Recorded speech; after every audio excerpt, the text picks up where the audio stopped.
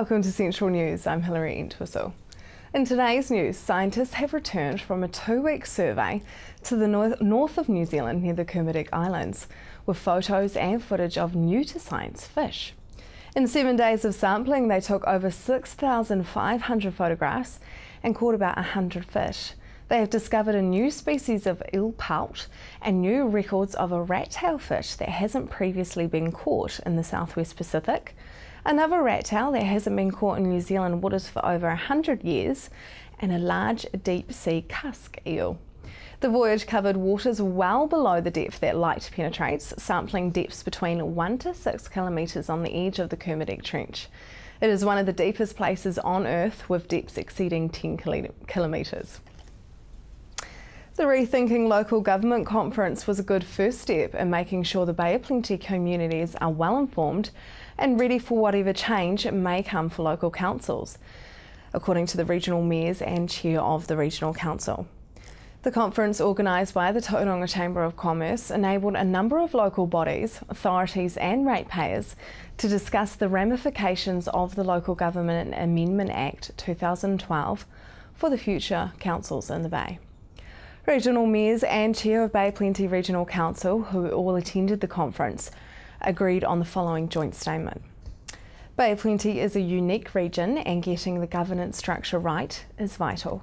They won't just accept a one size fits all policy because what works in one region may not work so well in another.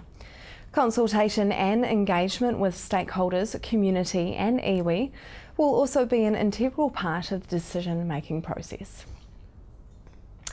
Exhibition sites are nearing full occupancy for the 45th New Zealand National Agricultural Field Days, even though the event is still months away.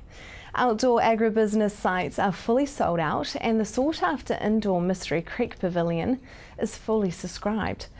Over 97% of all sites at Field Days have been acquired by businesses keen to exhibit at New Zealand's premier agriculture and agribusiness expo. And Field Day organisers are expecting to reach capacity well ahead of previous years.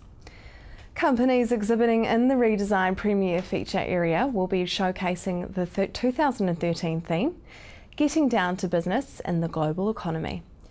The theme highlights New Zealand's unique position as an innovative agribusiness driven economy to capitalise on the growing international demand for food, protein, and agricultural expertise.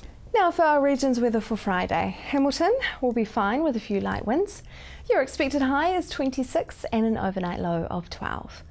Tauranga, your Friday will be mainly fine with light winds and sea breezes. Your expected high is 25 and an overnight low of 15. Just ahead, it is a nearly kiwi fruit season.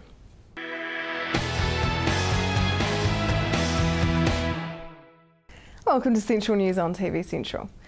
The kiwi fruit season will start in a few months' time, and with the effects of PSA well and truly being felt, I caught up with Zespri to see what is predicted for this season. So the fruit's currently busy growing on the vines at the moment. Summertime's here and it's enjoying some really good dry weather.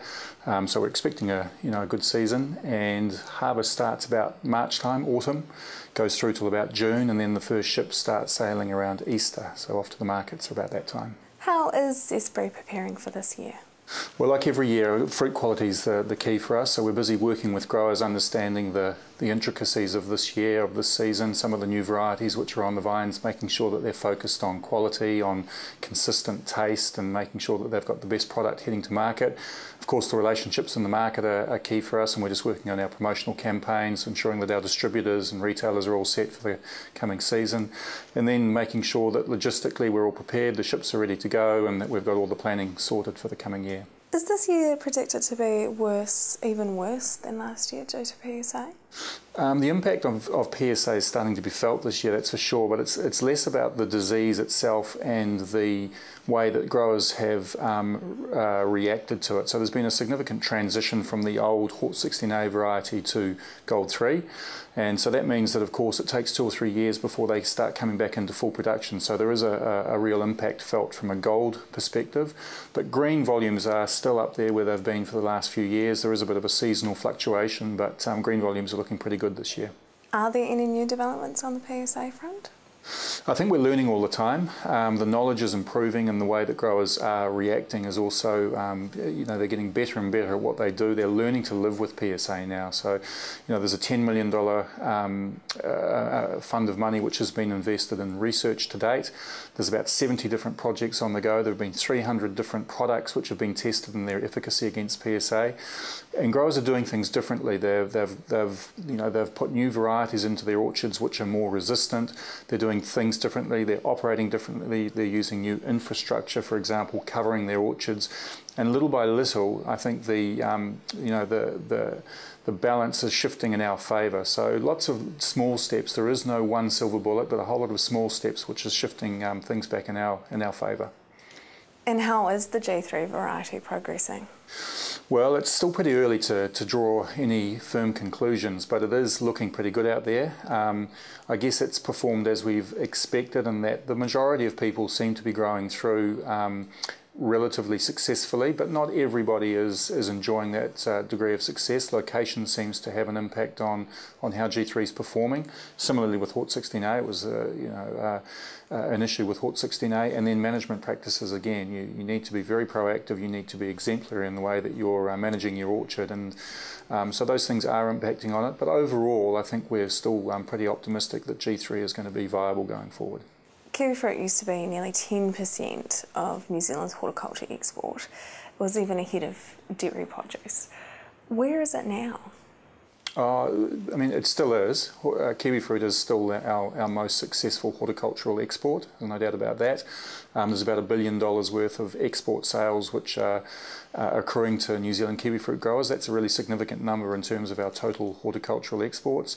And for this region, for the Bay of Plenty in particular, it's really, really important. It's a significant part of our GDP, and, and there, you know, much of the community spins off from the benefits of kiwi fruit. So, very important for us. Do you think 2013 will be better?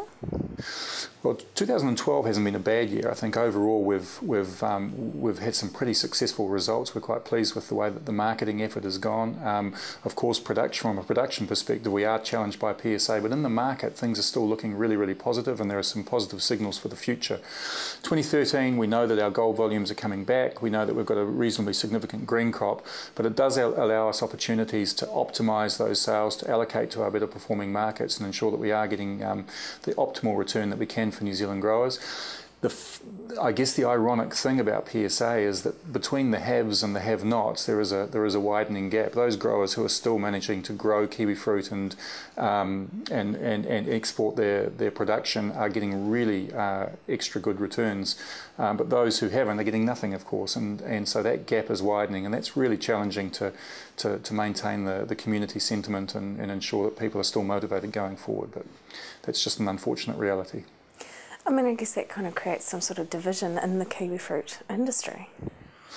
Oh, I don't know if there's division um, or, or, jealousy in terms of looking across the fence at what's going on. I think um, the fact that the, the market returns are still so positive that um, growers uh, you know, they have a good reason to get out of bed in the morning and continue to, to fight and ensure that their orchards are viable. That's a, that's a really good positive thing for us. Of course, providing them with all of the tools that they can to, to, to get themselves through uh, is important for us. But, but ultimately, you know, growers are, I think, pleased that they, they see a viable industry going on around them, even if they've got a year or two of, of um, time just to, just to get back into production themselves. Because 2012 saw record global sales for Zespri. How is that even possible with PSA? Well, I think what you've seen in 2012 is, is um, market returns have been have been really really good. So we've had a, a crop which has been uh, a little bit different in terms of the balance between gold and green. Um, that's allowed us to, to probably reallocate to our better performing markets. Uh, and we've pushed really, really hard in the market in 2012 to ensure that we're getting the best return for growers. That's both uh, for gold and for green.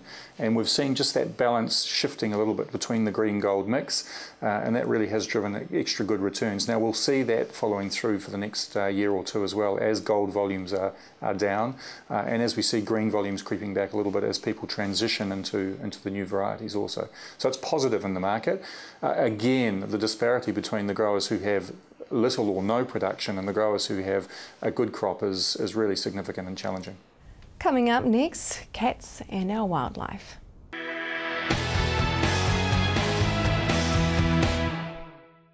Welcome back. It's been a hot topic around the country, and while we would prefer not to discuss whether a cat is an appropriate pet or not, we did find out from the Department of Conservation just how you can help restrict your pet from killing our native wildlife. Okay, um, domestic cats, given a chance, will hunt, and they've well, most of the cats in towns and cities will catch rodents, you know, rats, and native birds. They will, especially ones that are living near native habitats, catch native birds like tui have been recorded, um, keruru, silver eyes, fantails. They also catch reptiles. Um, there's one case of a cat in, in New Plymouth uh, getting a taste for a rather rare gecko and they'll also eat native insects. However, from the department's perspective, it's actually feral cats that are the bigger issue. And they're cats that have either been dumped in the or the descendants of cats that have been dumped, stray cats, and they've got no contact with humans and breed in the wild.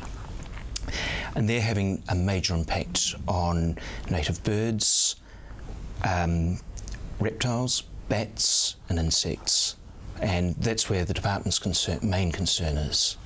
So, what I mean, is there any statistics around how many feral cats? I mean, it's hard to kind of. There's plenty of um, scientific evidence. Uh, there's just some of the examples. Uh, one cat, one feral cat, over seven days killed over 100 threatened short-tailed bats at one roost site. Another feral cat that was caught in central Otago was found to contain 49 endangered skinks in its stomach, so it had eaten them in one sitting, in effect. Um, some video footage of monitoring nests in the Mackenzie Basin of black stilt and shorebirds found that 43% of the predation events are actually due to cats. And I think the other really major one is that the reason that kakapo are now on offshore islands is that the last population in Stewart Island, natural population as such, in Stewart Island in the 1970s and 80s, was suffering such high cat predation they had to remove all the kakapo to offshore islands. Feral cats, uh, sorry, domestic cats, it's a little bit more um, difficult to work out their impacts because actually only 25% of the animals that cats catch they bring back to their owner. The other lot, uh, the other 75% are either eaten or just left where they're killed. However, there is a little bit of evidence that they are having an impact. So there's a recent study from Dunedin where uh, they found that certainly fantail and silver eye populations in the city were unlikely to survive in the face of cat predation without more birds migrating into the city. And another example was there was a study in Christchurch around a wetland looking at domestic cats, and a significant number of native skinks were brought in out of the wetland by these cats, their owners. So, obviously, more the problem is feral cats. Yeah. What can we do to tackle that? Um, from the Department of Conservation's perspective, we will control feral cats on public conservation land where they're doing causing a problem. However, we need to actually consider in perspective of there's a wide range of other mammalian predators in New Zealand. You've got stoats, uh, ferrets, weasels, hedgehogs, rodents, um, and they're all having an impact. So from the department's perspective, we don't just look at cats in isolation, we actually look at them as that whole range of predators and control them all at sites, our key sites. But see, I always thought that, you know, cats actually kill rodents. Yeah. Um, that's always an argument that you know cats are doing a benefit. In actual fact, certainly in forested situations, rodent numbers are driven by their food supply, and cats and stoat numbers increase in relation to the rodent numbers, then when the rodent numbers crash because their food runs out, you've got a lot of hungry cats and stoats looking for something else to eat. It's a bit of a catch-22. Um, so uh, I've always had the perception that actually dogs do more damage than your household cat. Um, in certain situations, dogs, certainly roaming pets and also farm dogs or working dogs have been a major issue in places where there are ground birds like kiwi, uh, weka, and other native ground birds. And there's a classic example in 1990, between 1990 and 1995. Um, over 50% of the kiwi deaths that were reported in Northland, that was 135 birds were killed by dogs, kiwi were killed by dogs. So they are a significant issue around certainly kiwi areas. So do you think if we start desexing our animals, that will help the situation? New Zealand does suffer an overpopulation of pets. And thousands of kittens are born every year that are unwanted. They get handed into the SPCA or animal shelters. And unfortunately, most of them are actually euthanized because they can't find homes for them.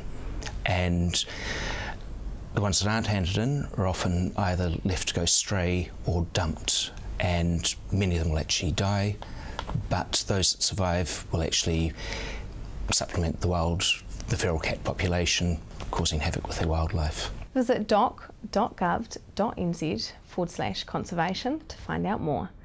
Stay tuned, as up next we meet a local who is now National President.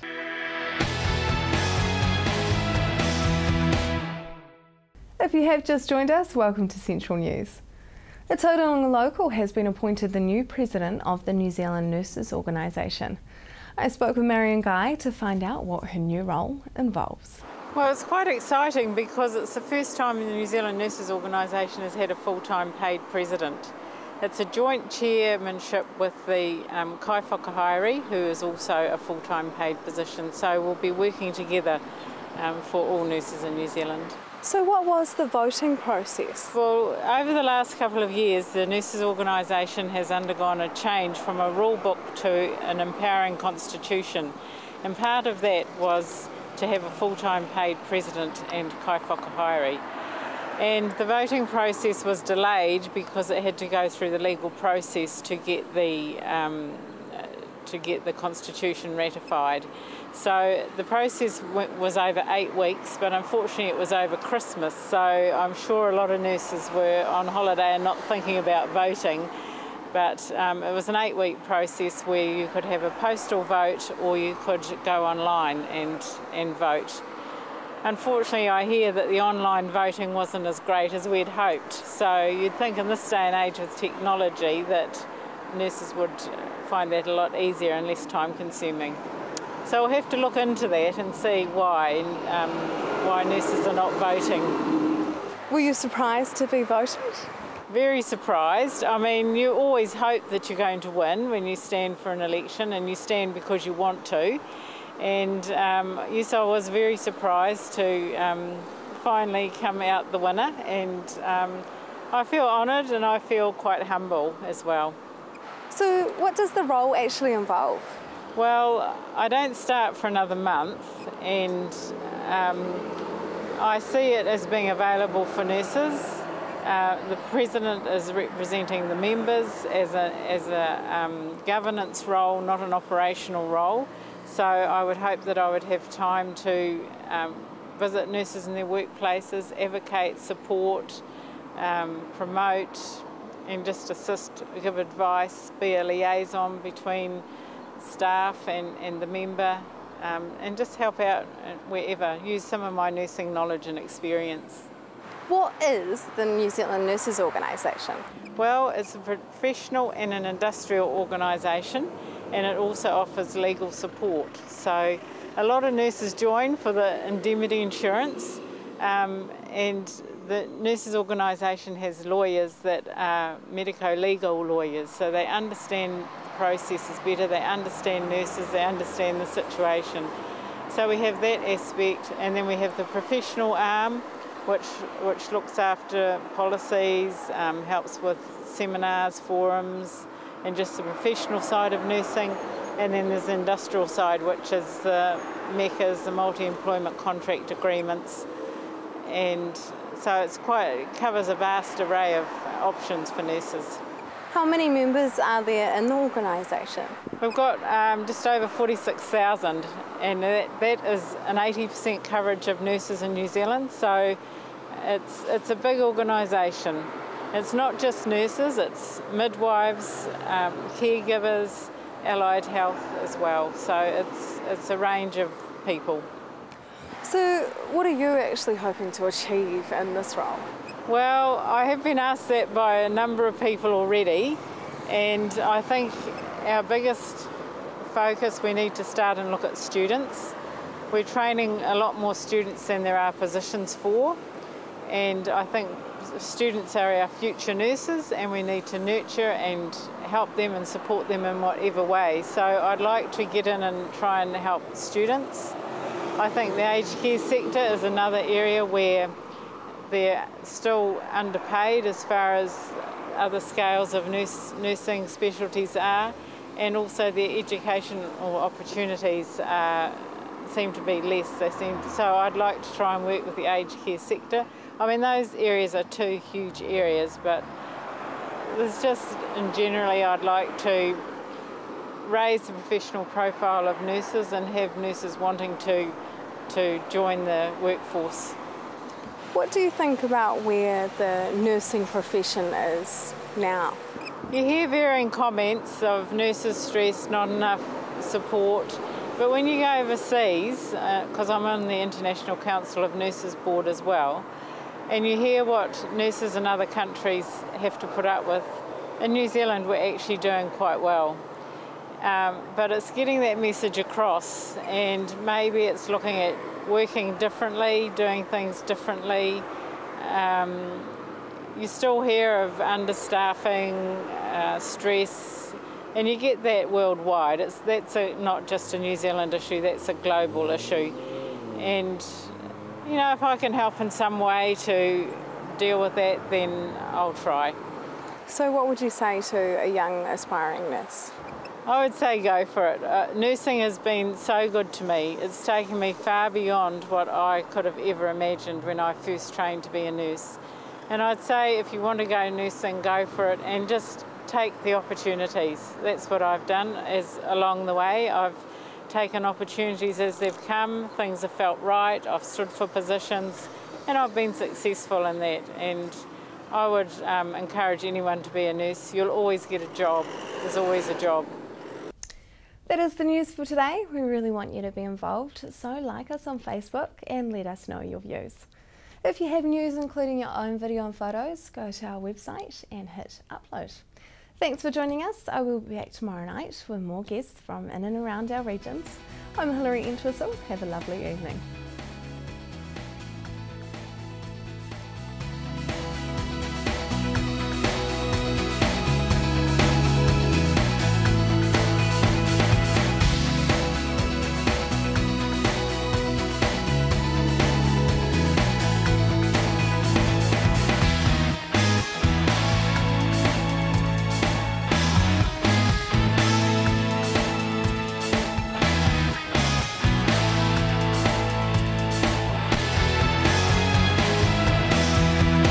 This has been an Alpha Media production, a division of Television Media Group.